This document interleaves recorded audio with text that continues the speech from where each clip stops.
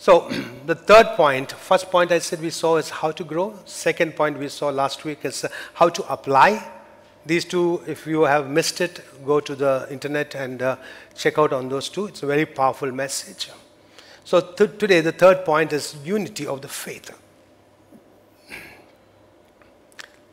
So we who have been saved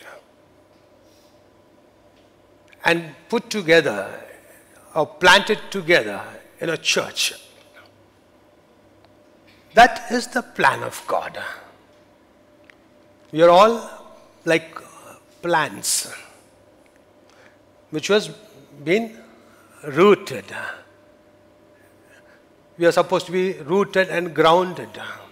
We have been sowed into the land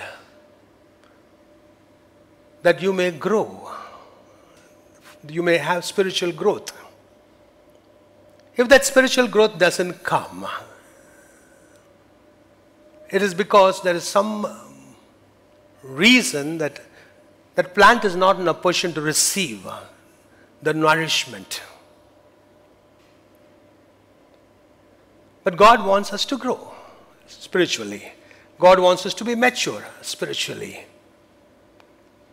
God wants them to be like him in our spirit, in a man, strong. Because this flesh is our sinful nature. The sinful nature will come forth or show up whenever we operate in the flesh. In other words, jealousy, pride, ego, hatred, bitterness, unforgiveness. All these are from the flesh, the sinful nature. from the spirit, what comes?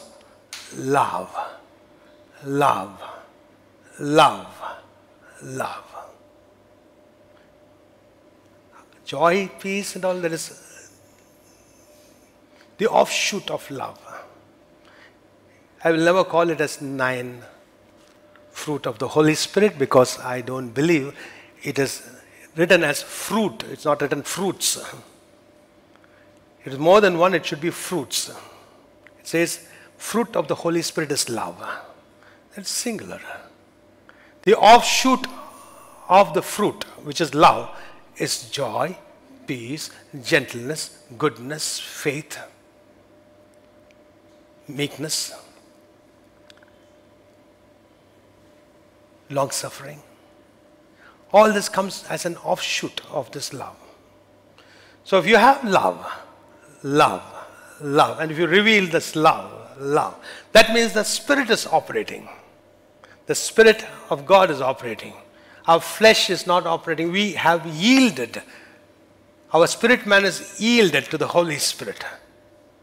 The spirit man has got more power over us than our flesh or than our soul.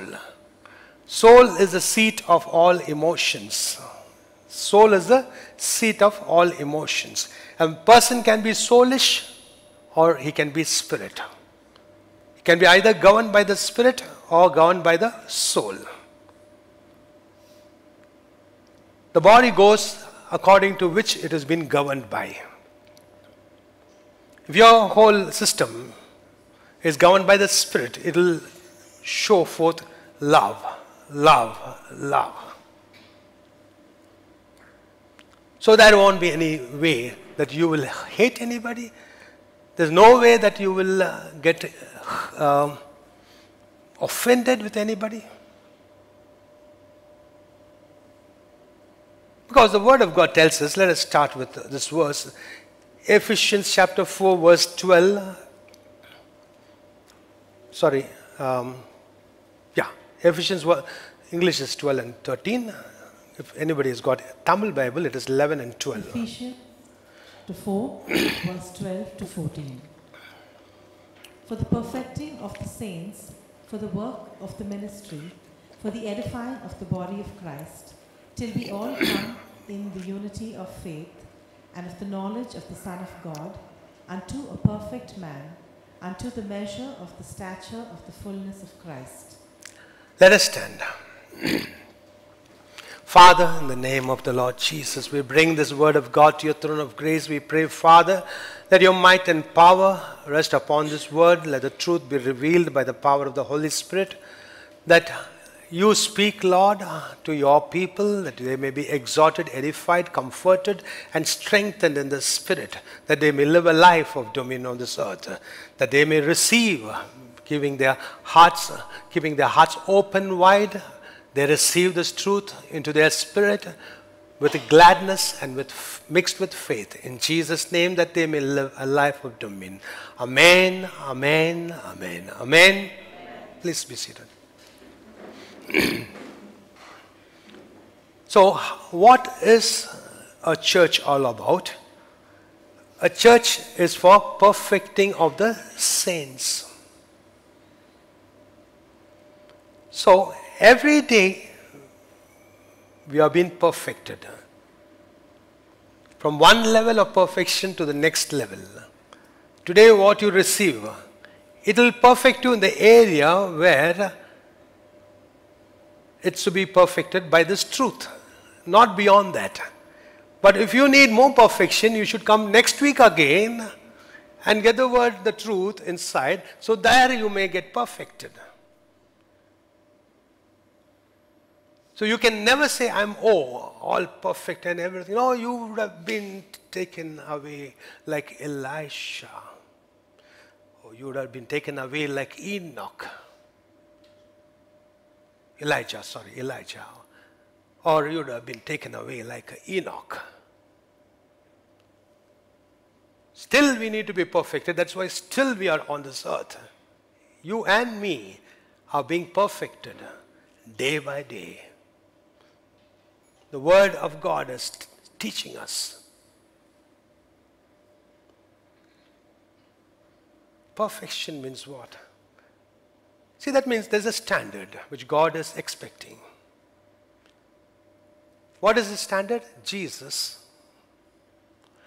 What is the standard he's expecting? God Almighty? Jesus. He's expecting Jesus to be the stature. That's why it's written there. And uh, see here in the uh, 13th verse, it says, Till we all come in the unity of the faith and of the knowledge of the Son of God, I'll come to that later, unto a perfect man, unto the measure of the stature of the fullness of Christ. So, who is our standard? Christ. We should come to the measure of the stature of the fullness of Christ. Don't look at the pastor, don't look at another believer, don't look. Your focus should be I want to become like Christ Jesus. Your fellow believer may have imperfection, your pastor may have imperfection. Am I right? That's why God did not tell you to see any man on this earth. He said, Look unto Abraham or look unto Jesus. You may say, you have uh, you found a lot of uh, lack in me. You may go home and discuss in your house. Pastor, he's not, he's, he's not like this, he's not like He's got so much of lack. Yes, I am perfected day by day. I agree. If I was perfected, I was in the fullness of the stature of Christ Jesus, ah, I would have gone. The Lord would have taken me, uh, rapture. Hallelujah. So here we see the church is a place where we are being perfected. And the truth from the word is the essence which is given into our spirit for perfection. Unless we receive this truth, without being offended, without rejecting, without resisting, without getting angry. All these things in the Spirit will make the truth come and bounce back. But if you receive the truth the way it is, with gladness and with a so much of happiness and with faith, that will change your life. Saying, This is what the Word of God is. This is how I have to live. live. This is how Jesus was on this earth. My standard is Jesus, nobody else. Nobody else. While we speak the Word of God, the Word of God is Jesus. You're receiving Jesus into your spirit through the Word of God. You cannot resist the Word of God. You cannot get angry with the Word of God. Because you're getting angry with Jesus. You're resisting Jesus from entering your life. Faith cometh by hearing, and the hearing comes by the Word of God. Hearing, spiritual hearing comes when you are seated to hear the Word of God. Your spiritual ears open.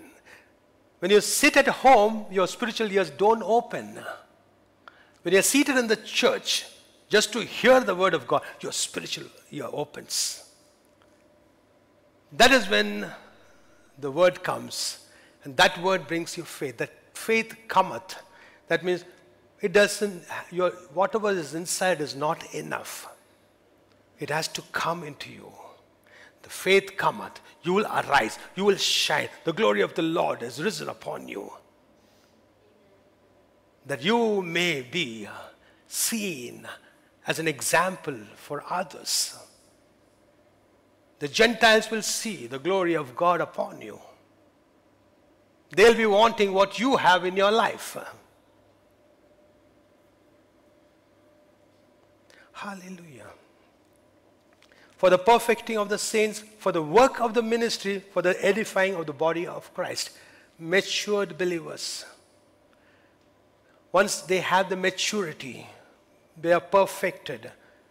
They have to contribute to the work of the ministry. In some way or the other, they should be a part of the ministry.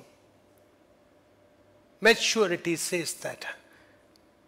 Perfected saints will be like that. They'll say, I want a part in this ministry. I will do this, I will do that. Let me do this. No need of calling. No, no, I will take a chair and put it like this and I'll claim my ministry in this uh, church. I'll come and sweep this church. And I'll say, I am doing it for the Lord Jesus. I'm sweeping the house of God. I have a reward for that. You're perfected for the work of the ministry. In other words, just like when they were saved in Jesus' times. You read in the gospel, there were a group of people over and above the 12 disciples. There were a group of people who always with, were with Jesus for the work of his ministry. They were matured saints. They knew there is certain requirement. They, Jesus needed them. Jesus needs you. How do you come into the unity of the faith?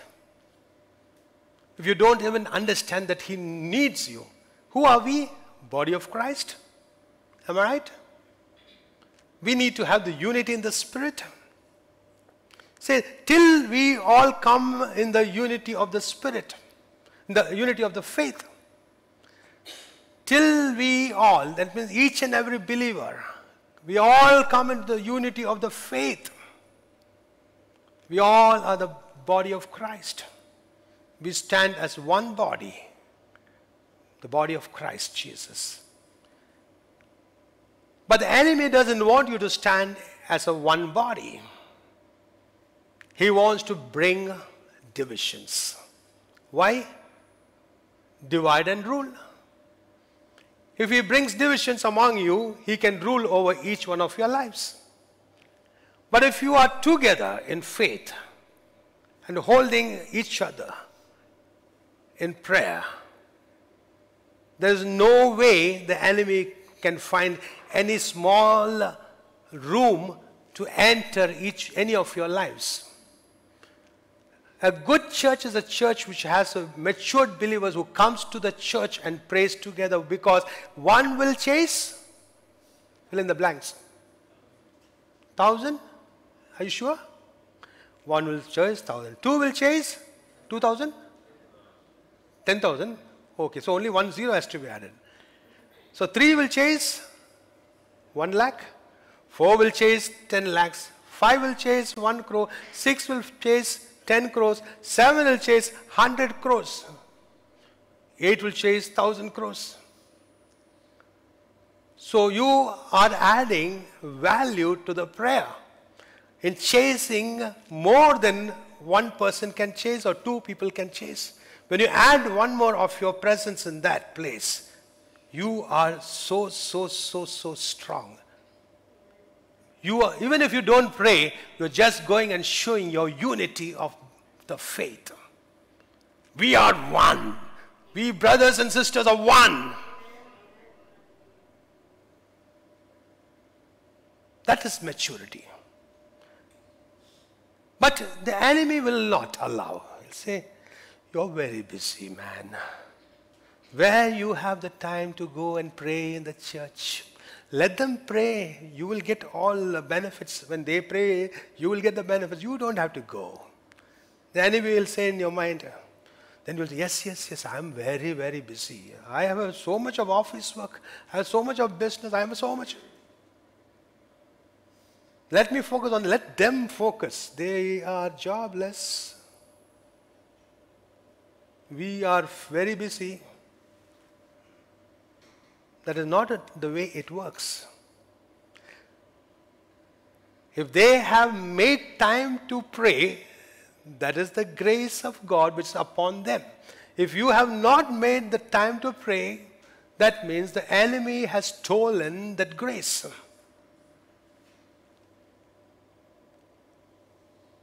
When we come into the presence of God for prayer, what do we say? We come to the throne of grace to obtain mercy and to receive grace to help at the time of need. So we join together. We come together in faith, the unity of faith. And it says, and the knowledge of the Son of God, unity of the faith and the knowledge of the Son of God. Two things are required for maturity according to this verse. Till we come, the perfection, when it comes, till we come to the unity of the faith and the knowledge of the Son of God. What is the knowledge of the Son of God we have in us? Did Jesus say, Learn from me? As he said, anywhere he is, Learn from me. Do you recall? I know one place where he said this. Matthew chapter 11, verses 29 and 30. He says, Learn of me. My yoke is light. Two things he said to learn of me. Can you read that? Is it there? Matthew chapter 11, verse 29 and 30. Take my yoke upon you and Take my yoke upon you and learn of me, and learn of me. To whom he's saying this? To everyone who believes in him. And learn of me, for I am meek for there are two things. For I am meek and lowly in heart, and lowly in heart, and you shall find rest unto your soul. and you shall find rest unto your souls.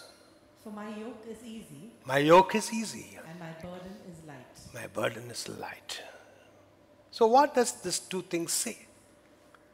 One is lowly heart. Lowness, lowly heart or mind? Lowly Heart. And meekness. See, lowly in the heart is basically about humility. Be humble, he says. If you want to be like me, have the humility. Be humble. Don't think too big of yourself. Consider you as the lowest among the lowest. You see, if you read uh, the epistles First, Paul the Apostle says, I'm the chiefest of the chief. After a few uh, epistles, he said, I'm the, low, I'm, the, I'm the least, I'm the worst sinner of the sinners. He changed this thing altogether.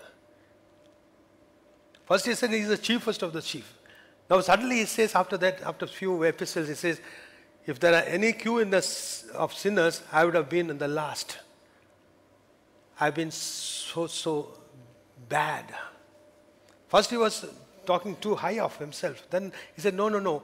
Where I came from, where I am now, is the grace of God. That is humility. Even Paul the Apostle, you see among the epistles that he is admitting the change in his life. He is also being perfected over a period of time. That is the beauty of the Bible. It doesn't, it shows the way a person is. If David did adultery, it is said, yes, he did adultery. It's not like any other book which tries to show a very uh, uh, flying colors and the, oh, he's so good. No, no, no. David did adultery. He did encourage somebody to be murdered. Yes. He sought for forgiveness and God forgave him and he was finally called a man after God's own heart. That shows who God is. God is willing to forgive. When you, when you see the repentance and change in our lives, humility. Jesus says, Learn these things from me. My yoke is light. Two things you learn from him one is humility, second is meekness. See, meekness, the deeper meaning of meekness is a controlled emotion. Meekness means a controlled emotion. Let us take the example of Moses. Moses was so uncontrolled. He also committed a murder. And he buried and looked for anybody seen. He thought nobody has seen. Finally, somebody saw it. And when that person came, he wanted to kill him also. So God said, No, no, no, no, no. I have chosen you as a leader. Now I have to teach you meekness. You have to become like me. God Almighty said, Moses, you need to become like me. So Jesus saying, You need to learn from me. So, what should we learn? Meekness, controlled emotion. The other one is lowless, lowliness of heart, humility. These two are the main characteristics of Jesus. He said, Learn of me. Only two things you learn of me, he says. One is humility, second is meekness. These two are the effect of love of God inside us. Being humble, trying to put the other person higher than you, yourself. What did Jesus say? You will do greater things than uh, what I did. You will perform greater miracles than I did because I'm going to the Father. He never said that, uh, I mean, I did the best miracle, I did it. No, no. He said, You'll do the works of what I, the works what I did, and you'll do also the miracles what I did. You'll be doing greater things than what I did because I go to the Father. So, placing the other person higher in higher esteem. But you and me know nobody can do greater things than Jesus. We all of us know that. But Jesus was expressing uh, how he wants to make us look important and great. And he was encouraging us, exhorting us, comforting us, saying, You can do it. So, this is how we need to be humility and controlled emotion, which is meekness. We all learn. But Jesus says, yes, you will have to be transformed from a natural human way to a divine nature. From the sinful nature to the divine nature. As long as we have the sinful nature, we will argue, we will get angry, we will get offended, we will get hurt. But once you become spiritual, these emotions are controlled. It doesn't mean that it is not there. Meekness means your emotions are controlled. As long as this body, which is not saved, you know, this body is not saved. If you read Romans, you'll know that. huh? Eighth chapter. The body is kept to be saved on the last day, in the time of the Lord's coming, where we will be putting on a glorious body. This is called as a what is one is a mortal body. That's why in the mortal body sickness can come. But God has given us His own Spirit. The same Spirit of God who raised up Jesus from the dead is inside us, which is quickening every single cell in our mortal body. Mortal body can become, dead cells can come, but the Holy Spirit who is inside us, He quickens, He makes alive every single cell in our mortal body. Well, we have the knowledge.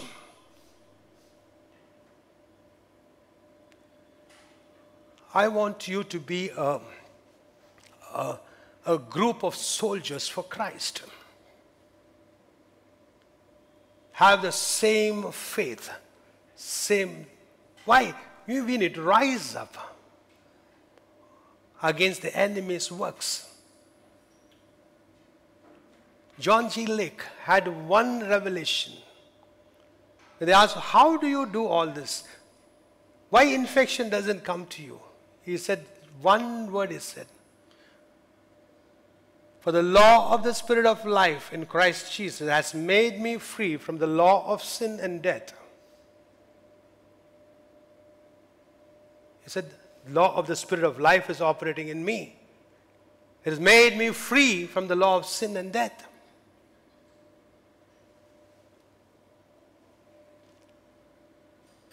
Everybody were dying.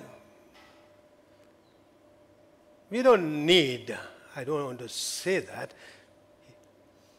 If you have that type of faith,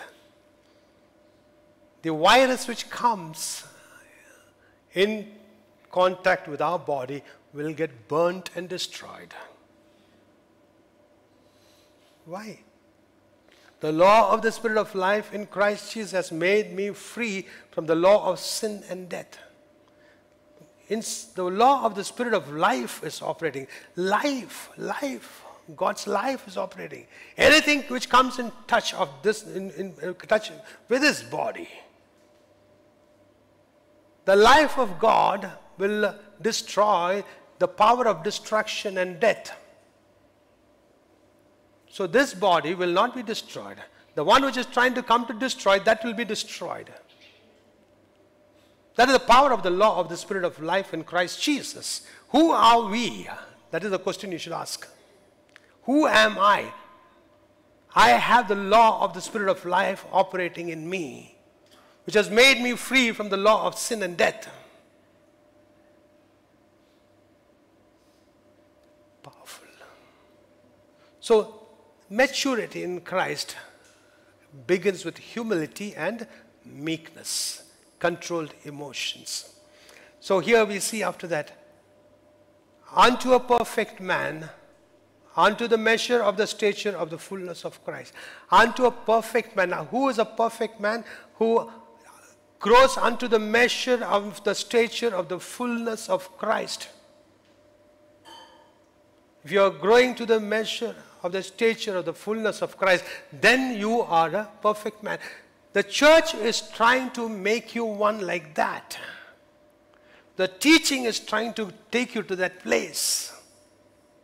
Let us say you come this week, you don't come next week. You miss the points, what has been taught. You have half of the word, you don't have the other half. How will you grow?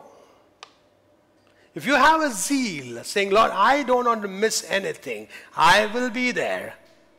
Come what may, you will be in this place. You will not give an excuse. Oh, it was raining. Oh, I had a stomach pain. A bag full of excuses. The reason why I didn't come, you are excusing yourself. Pastor didn't ask. Pastor will never ask. I'm telling you, I've decided I will not ask anyone why they are not coming to church. I'm here to teach. If you are present here, you receive. Otherwise, you are absent. If you don't come for one year, you come after that for one, you're welcome. Yes, you realize you didn't get any other church where you, uh, you found any, you didn't find any other place where you found the truth like in this place. Yes, you are welcome. But nobody is going to be questioned why you did not come to church. Why? I'm being matured. I'm, I'm growing in maturity. I told you, perfecting of saints. But God loves you. God will always bless you. But your inner man should grow day by day. It should be strengthened.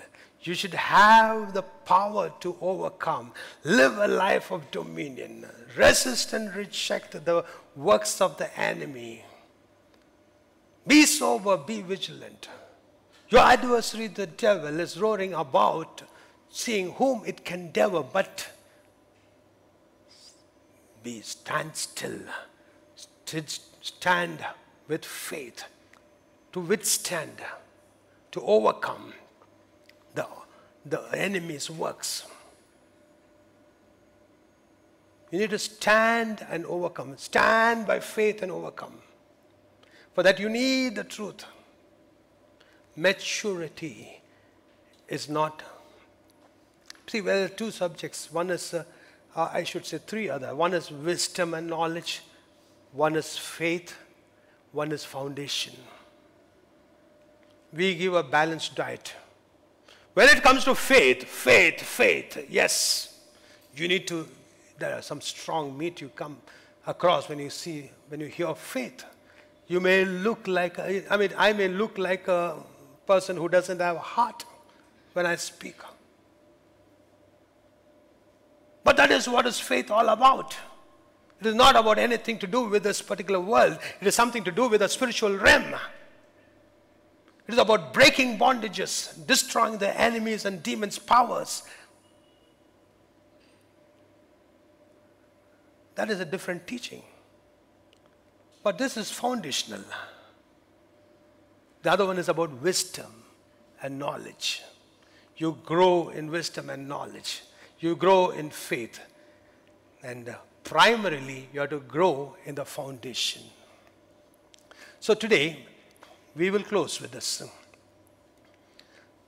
The third point, I said we could only see one point today the unity of the faith. For the perfecting of the saints, for the work of the ministry, for the edifying of the body of Christ. That is the, another thing which you need to understand for the edifying of the body of Christ. Mature believers always edifies uh, immature believers edifies and exhorts the immature believers. Immature believers will come and complain. They'll come to your house and complain. They'll come stand downstairs and complain. The matured believers should say, Listen, that is for your good. You listen to what pastor is teaching and you will grow in strength. You will overcome. You will see good things. You will see blessings. You will not be along with them and say, No, no, yes, sir, That's says that is wrong. How can he teach that? That means you are also immature. A church cannot be filled with all immature believers. Maturity edifies the body of Christ. I am not saying this, please. I'll t- I've given you a disclaimer. It is the word of God. If anybody has done this, please correct your ways. So it says here, for the perfecting of the saints, please read your Bible, for the work of the ministry, for the edifying of the body of Christ. Who is the body of Christ? Believers. You have been matured. You have been brought into maturity. You have been perfected. You have been strengthened. Why? So that you may edify the other believers. If you itself is immature, how can you do that for another person? This is not a corporate. This is not an office. This is not a business place. This is where the spiritual realm operates. This is above your office, is above your uh, corporate laws, is above your business. This is something which governs everything. It's above all. Church is above all. You are seated in a place which is above all. The Word of God says, the enemy is being put under our feet. The grace of the Lord, that, that the grace of God be upon you. It says that He will put Satan under your feet. Church, where the gates of hell shall not prevail, while the truth is there. Where the truth is there in that church, the gates of hell shall not prevail. We should never, ever dilute the truth. The truth has to be spoken the way it is. It doesn't matter who gets hurt because of the truth. It doesn't matter. I don't care. Because the truth has to be spoken. Because of the truth, if you sorrow, it will bring eternal life into you. The earthly sorrow will bring destruction.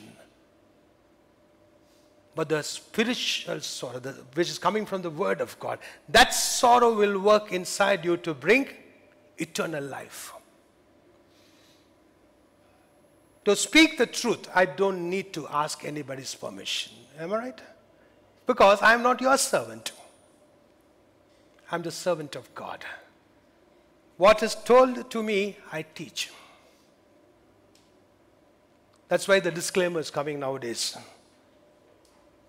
for immature believers who take the word in the wrong way. No, please. I mean, if you see any video, they're saying this is only for educational purposes. This is not for, I'm not a doctor, I'm not a this thing, I'm not a scholar, I'm not here to give you, uh, I mean, gains or profit.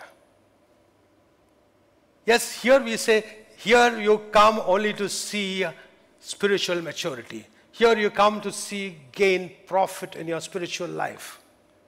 But certainly, it is not spoken for a single person, it is spoken collectively, which will benefit collectively. Let us thank God and get up and stand before His presence. Hallelujah. Lord, we thank you, Lord, for the message about unity of faith. Come. Hallelujah. This is real Hallelujah. Thank you, Lord. We give you glory, Lord. Hallelujah. We give you thanks, my Father, for giving us this grace to share your word. And you, from your heart, say, Lord, we thank you, Lord, for the grace you've given us to receive this truth in us. The truth comes uh, into us in a man to strengthen us, to build us up, uh, that we may stand and overcome, and we may receive the maturity in our spirit. We will not be tossed to and fro like waves but will stand still established. Hallelujah. Father, we pray and bless each one in this place. That each one of them, Lord, let them grow into the fullness of Christ. Let them grow into the maturity and the stature of the fullness of Christ. Let the Lord Jesus be their standard. Let them look unto Jesus alone. Let them live a life of dominion on this earth. Let them live a holy life. Let them live a life which is pleasing to God. Let them learn these two things from Jesus humility and meekness. We pray and bless each one who come to listen to this word. Let them be greatly blessed through this word in Jesus' name. Amen, amen, amen, amen.